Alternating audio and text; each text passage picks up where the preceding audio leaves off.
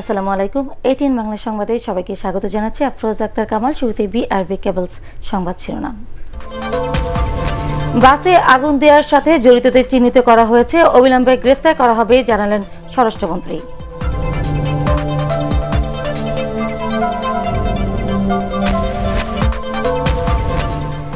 জনগণ থেকে প্রত্যাখ্যাত হয়ে আবারও আগুন সন্ত্রাস চালাচ্ছে বিএনপি, অভিযোগ ওবায়দুল কাদেরের।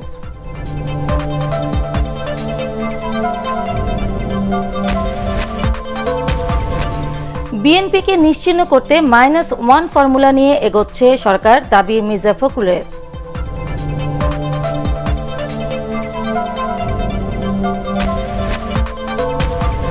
এবং করোনায় একদিনে দেশে আরও চোদ্দ জনের মৃত্যু, নতুন করে আক্রান্ত দেড় হাজারেরও বেশি।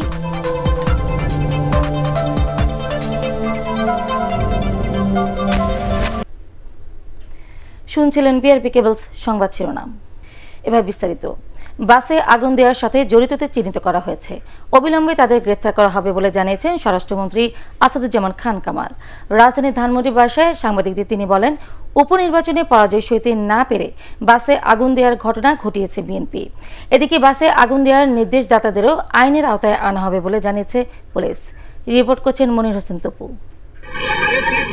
গত বৃহস্পতিবার রাজধানীর বিভিন্ন স্পটে নয়টি বাসে আগুন দেয় দুর্বৃত্তরা। এ ঘটনায় বিভিন্ন থানায় চোদ্দটি মামলায় অন্তত বত্রিশ জনকে গ্রেপ্তার করা হয়েছে। এ বিষয়ে ধানমন্ডির বাসভবনে সাংবাদিকদের সাথে কথা বলেন স্বরাষ্ট্রমন্ত্রী আসাদুজ্জামান খান কামাল। দেশে কোনো ধরনের অরাজক পরিস্থিতি তৈরি হতে দেবে না সরকার। উল্লেখ করে স্বরাষ্ট্রমন্ত্রী আরও বলেন, সিসিটিভির ফুটেজ দেখে এই নাশকতার সাথে জড়িতদের চিহ্নিত করা হয়েছে।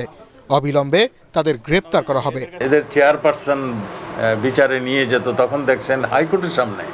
এরা প্রিজনার ভ্যান ভেঙে সেখানে ভাঙচুর করেছে। সাধারণ গাড়িগুলি ভাঙচুর করেছে।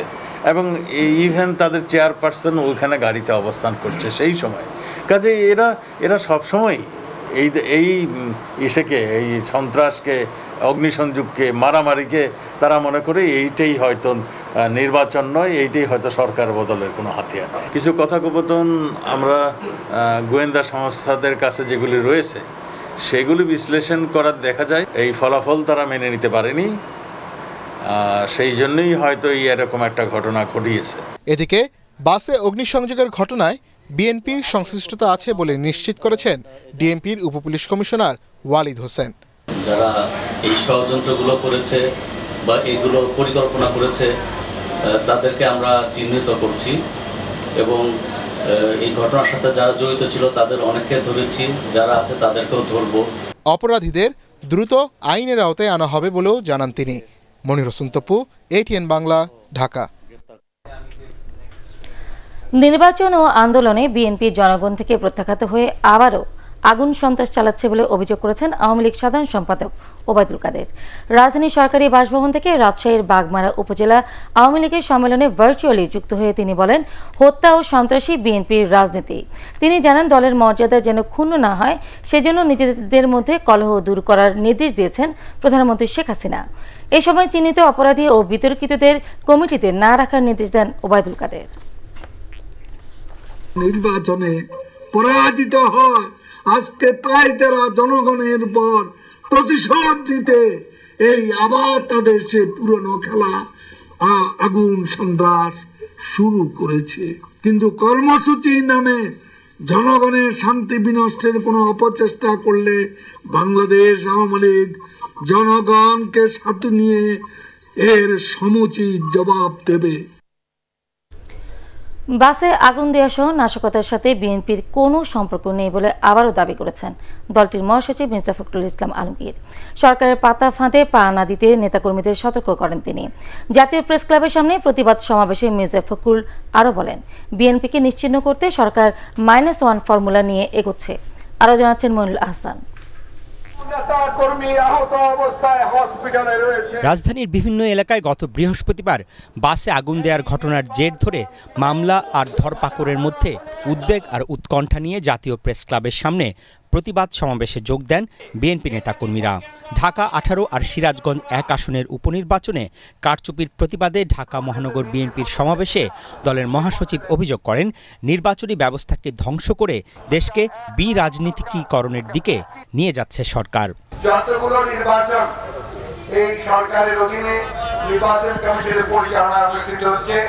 প্রত্যেকটি নির্বাচনে তারা তাদের পক্ষে রূপ করে নিয়ে যায়। আমরা সুষ্ঠু নির্বাচন চাই। সরকারকে বলব তার ব্যবস্থা করুন। অন্যথায় প্রত্যেকটি স্বৈরাচার যেভাবে বিদায় হয়েছে আপনাদেরকে এর আগে প্রেস ক্লাব মিলনায়তনে বাংলাদেশ ফেডারেল সাংবাদিক ইউনিয়ন বিএফইউজের একাংশের কাউন্সিলে মির্জা ফখরুল ইসলাম আলমগীর বলেন আন্দোলনকে ভিন্ন খাতে নিতে সরকার বিএনপি নেতাকর্মীদের মামলা দিয়ে হয়রানি করছে। আজকে রাষ্ট্রই একটা সন্ত্রাসী রাষ্ট্রে পরিণত হয়েছে। এখন মাইনাস ওয়ান ফর্মুলা নিয়ে বিএনপিকে নির্মূল করার ষড়যন্ত্রে তারা লিপ্ত হয়েছে। সেই আগের খেলা, তারা তাদের এজেন্টদের দিয়ে এই সমস্ত নাশকতামূলক কাজ করবে আর সেটা বিএনপির উপরে দোষ চাপিয়ে দেবে। কেউ যেন এই ধরনের ট্র্যাপের মধ্যে পা না দেয়। নাশকতার কাজ যারা করছে তারা কোনো মতেই তাদের সঙ্গে বিএনপির কোনো সম্পর্ক নেই। এদিকে জাতীয় প্রেস ক্লাবে বিএনপির সমাবেশকে কেন্দ্র করে পুরো এলাকায় সতর্ক অবস্থান নেয় পুলিশ সহ আইন শৃঙ্খলা বাহিনী। মইনুল আহসান, এটিএন বাংলা, ঢাকা। দেশ আবার সংঘাতের দিকে এগোচ্ছে বলে আশঙ্কা ব্যক্ত করেছেন জাতীয় পার্টির চেয়ারম্যান ও বিরোধী দলীয় উপনেতা গোলাম মোহাম্মদ কাদের। জাতীয় পার্টির চেয়ারম্যানের বনানী কার্যালয়ে জাতীয় মৎস্যজীবী পার্টির সাথে মতবিনিময় শেষে তিনি আরও বলেন, রাজধানীতে একই সময়ে একাধিক বাসে অগ্নিসংযোগের ঘটনা কারও কাম্য নয়। দেশে এখন ভারসাম্যহীন শাসন ব্যবস্থা চলছে বলে অভিযোগ করেন জিএম কাদের। আমরা জবাবদিহিতাকে রাষ্ট্রীয় কাঠামো থেকে উঠিয়ে দিয়েছি এখন। আমাদের পার্লামেন্ট আমাদের সরকারকে জবাবদিহি করতে পারে না। আমাদের পার্লামেন্ট শক্তির ভারসাম্য রক্ষা করতে পারে না। এই কারণেই যে দেশে সুশাসন প্রতিষ্ঠা হচ্ছে না, আমাদের দেশে ন্যায় বিচার ভিত্তিক সমাজ ব্যবস্থা গড়ে উঠছে না। যারা ক্ষমতাশালী লোক, তারা বিভিন্নভাবে প্রভাবিত করছে। যারা দুর্বল মানুষ, তারা বিভিন্নভাবে ক্ষতিগ্রস্ত হচ্ছে। করোনা ভাইরাসে আক্রান্ত হয়ে গত চব্বিশ ঘন্টায় দেশে আরও চোদ্দ জনের মৃত্যু হয়েছে। এ নিয়ে মৃতের সংখ্যা বেড়ে দাঁড়াল ছয় হাজার একশো তেহাত্তর জনে। মৃত ব্যক্তিদের মধ্যে দশজন পুরুষ ও চারজন নারী। এর মধ্যে ঢাকা বিভাগে সর্বোচ্চ আটজন মারা গেছেন। সর্বশেষ এগারো হাজার সাতশো পঁচানব্বইটি নমুনা পরীক্ষায় এক হাজার পাঁচশো একত্রিশ জনের করোনা শনাক্ত হয়েছে। শনাক্তের হার বারো দশমিক নয় আট শতাংশ। এ নিয়ে মোট আক্রান্তের সংখ্যা চার লাখ তিরিশ হাজার চারশো ছিয়ানব্বই। গত চব্বিশ ঘন্টায় এক হাজার চারশো বাষট্টি জন সহ মোট সুস্থ হয়েছেন তিন লাখ সাতচল্লিশ হাজার আটশো উনপঞ্চাশ শনাক্ত বিবেচনায় সুস্থতার হার আশি দশমিক আট শূন্য শতাংশ। স্বাস্থ্য অধিদপ্তরের সংবাদ বিজ্ঞপ্তিতে এসব তথ্য জানানো হয়। করোনায় ডায়াবেটিস রোগীদের মৃত্যু হার বেশি বলে জানিয়েছেন স্বাস্থ্যমন্ত্রী জাহেদ মালিক। তবে পঞ্চাশ ভাগ রোগী জানেন না তারা ডায়াবেটিসে আক্রান্ত। এমন তথ্য দিয়ে বিশেষজ্ঞরা বলছেন পরীক্ষা করার পাশাপাশি ডায়াবেটিস প্রতিরোধ ও নিয়ন্ত্রণে বাড়াতে হবে সচেতনতা। বিশ্ব ডায়াবেটিস দিবসের আলোচনায় এসব কথা উঠে আসে। একরামুল হক সাইমের রিপোর্ট। পরিসংখ্যান বলছে বিশ্বের চার কোটি বাইশ লাখ মানুষ ডায়াবেটিস রোগে আক্রান্ত। বাংলাদেশে আক্রান্তের সংখ্যা পৌনে এক কোটির বেশি। যদিও বাস্তবে এই সংখ্যা আরও অনেক বেশি বলে ধারণা বিশেষজ্ঞদের। একই সাথে ডায়াবেটিসকেও মহামারী রোগ উল্লেখ করে তারা বলছেন করোনা এসব রোগী বেশি মৃত্যু ঝুঁকিতে থাকেন।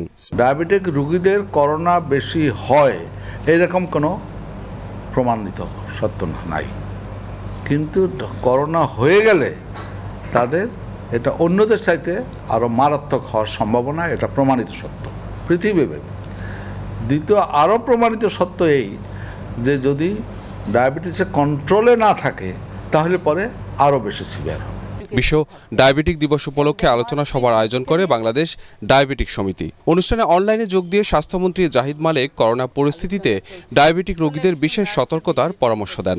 যারা করোনা আক্রান্ত হয়েছে ডায়াবেটিক হয় বা তাদের যদি অন্যান্য অসুখ থাকে যেমন কিডনি অসুখ মৃত্যুটা বেশি মৃত্যুর হারটা বেশি। তবে ডায়াবেটিক রোগীদের করোনায় আক্রান্ত ও মৃত্যু সংখ্যা নিয়ে দেশে স্পষ্ট কোনো পরিসংখ্যান নেই। এ ব্যাপারে গবেষণা চলছে বলে জানিয়েছে ডায়াবেটিক সমিতি। তবে চল্লিশ অদ্য বয়সীদের ডায়াবেটিসের ঝুঁকি থাকে জানিয়ে পরীক্ষায় উদাসীন না হওয়ার তাগিদ বিশেষজ্ঞদের। গত বছর নভেম্বর মাসে ওই এক মাস আমরা এক লক্ষ কত হাজার লোকরে যাদের ডায়াবেটিস নাই, আমরা স্ক্রিনিং করেছিলাম। সেইখানে দেখা গেল প্রায় ছাব্বিশ পার্সেন্টের মতো ডায়াবেটিক আসছে। আর এমনি তো গ্লোবালি বলা হয়, শুধু বাংলাদেশ বা ডেভেলপিং কান্ট্রিতে না ডেভেলপড কান্ট্রিও নিয়ে। ফিফটি পার্সেন্ট ডায়াবেটিক রোগী জানে না ওর ডায়াবেটিস আছে। ডায়াবেটিস সেবায় পার্থক্য আনতে পারে নার্সরাই এই প্রতিবাদ্যে এবার পালিত হচ্ছে বিশ্ব ডায়াবেটিক দিবস। ইকরামুল হক সায়েম এটিএন বাংলা ঢাকা। হেফাজতে ইসলামের নিয়ন্ত্রণ নিতে সংগঠনের একটি কুচক্রি মহলের বিরুদ্ধে আল্লামা শাহ আহমেদ শফিকে পরিকল্পিতভাবে হত্যার অভিযোগ করেছে সংগঠনটি। জাতীয় প্রেস ক্লাবে সংবাদ সম্মেলনে আল্লামা শফির মৃত্যুকে অস্বাভাবিক উল্লেখ করে বিচার বিভাগীয় তদন্ত দাবি করেন সংগঠনের যুগ্ম মহাসচিব ও মুখপাত্র মুফতি ফয়জুল্লাহ। এই ঘটনার নেতৃত্বে হেফাজতের কয়েকজন নেতা ও চিহ্নিত চরমপন্থী রয়েছে বলেও দাবি করেন তিনি। হেফাজতের মূল ধারাকে বাদ দিয়ে সংগঠনের একতরফা কাউন্সিল মেনে নেওয়া হবে না বলেও সংবাদ সম্মেলনে জানানো হয়। আল্লামা শাহ আহমদ শফি রহমতুল্লাহ আলাইকে সুপরিকল্পিতভাবে শহীদ করে হেফাজতে ইসলাম বাংলাদেশকে একটি চিহ্নিত মহল তাদের নিয়ন্ত্রণে নিয়ে নিজেদের এজেন্ডা বাস্তবায়নের গভীর ষড়যন্ত্র করছে। এসবের নেতৃত্বে রয়েছে মূলত হেফাজতে ইসলামের কিছু নেতা। সরকারের কাছে জোর দাবি জানাচ্ছি। বিচার বিভাগীয় তদন্ত কমিটির মাধ্যমে সত্য উদ্ঘাটন করুন। সারা দেশে উদযাপিত হলেও সনাতন ধর্মাবলম্বীদের দ্বিতীয় বৃহত্তম উৎসব কালী পূজা। শনিবার সন্ধ্যায় ঢাকেশ্বরী জাতীয় মন্দিরে সশস্ত্র প্রদীপ জ্বালানোর মধ্য দিয়ে শুরু হয় এই আনুষ্ঠানিকতা। ভারতীয় হাইকমিশনার বিক্রম কুমার দোরাইস্বামী পূজার উদ্বোধন করেন। এ সময় বিশ্বে বাংলাদেশ সাম্প্রদায়িক সম্প্রীতির অনন্য দৃষ্টান্ত স্থাপন করেছে বলে মন্তব্য করেন তিনি। আরও জানাচ্ছেন রসনা দাস। কালী পূজা বা শ্যামা পূজা মূলত আলোর উৎসব। হিন্দু পুরাণ মতে দেবী দুর্গারই আরেক রূপ মা কালী, যিনি শক্তির দেবী। অশুভ শক্তিকে দূর করতে কার্তিক মাসের আমাবস্যা তিথির এই পূজা শুরু হয় সন্ধ্যা থেকেই দীপাবলি উৎসবের মধ্য দিয়ে। অসংখ্য প্রদীপের আলোয় দূর করা হয় অন্ধকার। সেই সাথে মা কালীর কাছে চলে ভক্তদের বিশেষ প্রার্থনা। অবশ্যই চাওয়া থাকে যেন মা সবার পরিবারকে এবং আমার নিজের পরিবারকে সবাইকে ভালো রাখে। এই প্রদীপটা আসলে অশুভ দৃষ্টিকে যত দূর প্রদীপের আলোটা যাবে তত দূর পর্যন্ত অশুভ শক্তি দূরে থাকবে। করোনা যেন বাংলাদেশ থেকে সব বিশ্ব থেকে দূরে চলে যায় সবার মঙ্গল বই আনক এই প্রার্থনা করে আমি দীপাবলি প্রদীপ জ্বালাইতে আসছি। পূজা শেষে ভক্তরা অঞ্জলি দেন দেবীর চরণে মণ্ডপে মণ্ডপে সেই উৎসবে যোগ দেন ধর্মবর্ণ নির্বিশেষে সবাই। তাদের প্রত্যাশা বিদায় হবে অশুভ শক্তি। আমরা এবছর ভক্তদের জন্য পূজার প্রসাদ ছাড়া অন্য ব্যাপকভাবে যে দর্শনার্থীদের জন্য ভক্তদের জন্য যে প্রসাদ বিতরণ থাকে সেটা আমরা করছি না। দীপাবলির আনুষ্ঠানিকতায় যোগ দিয়ে ভারতীয় হাই কমিশনার বিক্রম কুমার দোরাইস্বামী সবাইকে স্বাস্থ্যবিধি মেনে উৎসব উদযাপনের আহ্বান জানান। Bangladesh is example of a country that is on harmony on light and on friendship for all keeping that keeping the spirit that makes Bangladesh unique country শুভ ও কল্যাণকর শক্তির বিজয় এবং শান্তি ও সম্প্রীতির আকাঙ্ক্ষা নিয়ে উৎসব শেষ করার প্রত্যাশা সবার। রাসনা দাস এটিএন বাংলা, ঢাকা। রাজশাহী চার আসনের সাবেক সংসদ সদস্য, সাবেক সচিব ও রাষ্ট্রদূত আবু হেনা আর নেই। শনিবার দুপুরে রাজধানীর একটি বেসরকারি হাসপাতালে মারা যান তিনি। ইনানিলাহে ও ইনেলে রাজুন। বিএনপি দলীয় সাবেক সংসদ সদস্য আবু হেনা করোনায় আক্রান্ত হয়ে চিকিৎসাধীন ছিলেন বলে জানা গেছে। তার মৃত্যুতে বিএনপি মহাসচিব মির্জা ফখরুল ইসলাম আলমগীর গভীর শোক জানিয়েছেন। সিনিয়র এএসপি আনিসুল করিম শিপন হত্যার বিচার দাবি করেছেন একত্রিশতম বিসিএস ক্যাডার অ্যাসোসিয়েশনের সদস্যরা। শিপনকে হত্যার প্রতিবাদে রাজধানীর শাহবাগে জাতীয় জাতীয় জাদুঘরের সামনে মোমবাতি প্রজ্বলন করেন তার সতীর্থরা। এ সময় দোষীদের দৃষ্টান্তমূলক শাস্তির দাবি জানান তারা। শিপনের কর্মময় জীবনের নানা দিক তুলে ধরে তার সতীর্থরা বলেন, মেধাবী এক পুলিশ কর্মকর্তার সেবা থেকে বঞ্চিত হল জনগণ। মিল্কভিটা আন্তর্জাতিক সংবাদ।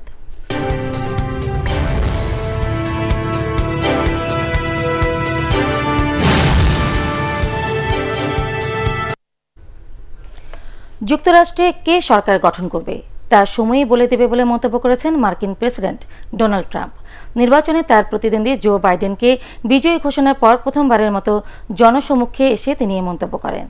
ভোট গণনায় ডেমোক্রেট প্রার্থী বিজয়ী হলেও পরাজয় মেনে নিতে অস্বীকৃতি জানিয়ে আসছেন ডোনাল্ড ট্রাম্প। হোয়াইট হাউসে সংবাদ সম্মেলনে করোনা ইস্যুতে তিনি আরও বলেন, কোনো পরিস্থিতিতেই লকডাউন দেবে না তার প্রশাসন।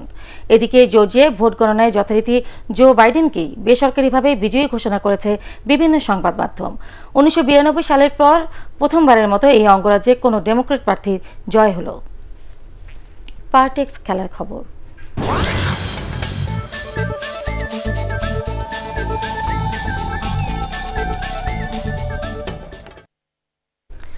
বঙ্গবন্ধু টি টোয়েন্টি কাপে শিরোপা জয়ের সামর্থ্য রাখে তরুণদের নিয়ে গড়া দল ফরচুন বরিশাল। রাজধানীর একটি হোটেলে ফরচুন বরিশালের দল পরিচিতি, লোগো এবং জার্সি উন্মোচন অনুষ্ঠানে দলটির খেলোয়াড় ও কর্মকর্তারা একথা জানান। পরাগারমানি রিপোর্ট। বঙ্গবন্ধুর জন্ম শতবার্ষিক উদযাপন উপলক্ষে আয়োজিত Bangabandhu T twenty cup cricket tournament মাঠে গড়াবে চব্বিশ নভেম্বর। পাঁচ দলের এই টুর্নামেন্টকে সামনে রেখে জমকালো আয়োজনে সবার আগে ফরচুন বরিশাল দল পরিচিতি লোগো ও জার্সি উন্মোচন করল। এ সময় দলটির চেয়ারম্যান মিজানুর রহমান জানান, করোনা পরবর্তী জাতীয় দল গড়তে এই টুর্নামেন্ট ভূমিকা রাখবে।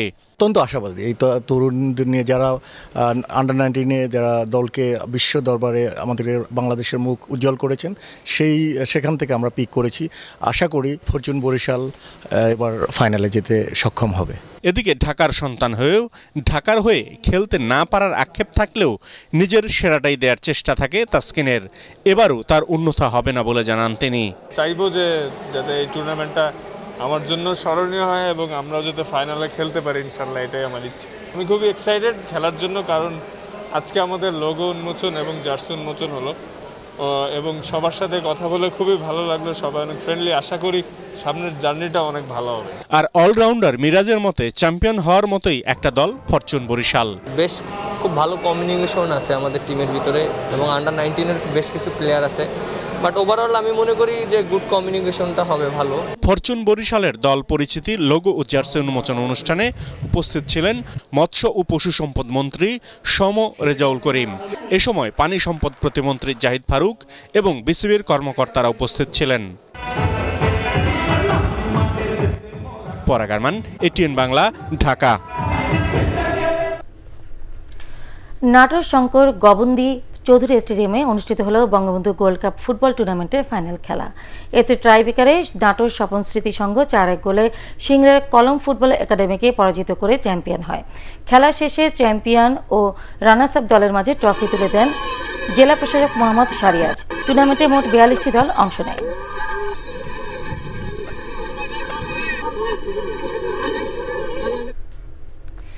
শেষ করার আগে বিআরবি কেবলস সংবাদ শিরোনাম আরও একবার।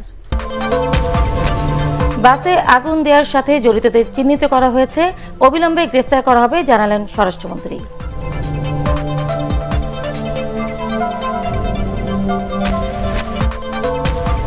জনগণ থেকে প্রত্যাখ্যাত হয়ে আবারও আগুন সন্ত্রাস চালাচ্ছে বিএনপি, অভিযোগ ওবায়দুল কাদেরের।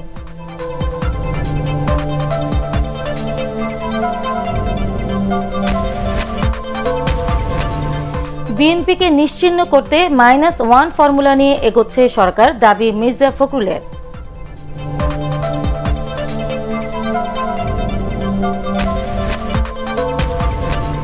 এবং করোনায় একদিনে দেশে আরও চোদ্দ জনের মৃত্যু, নতুন করে আক্রান্ত দেড় হাজারেরও বেশি।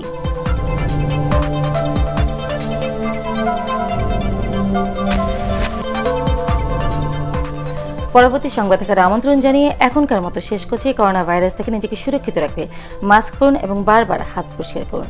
আমাদের এটিন বাংলা সংবাদ ইউটিউবে দেখতে ব্রাউজ করুন YouTube slash ATN Bangla news.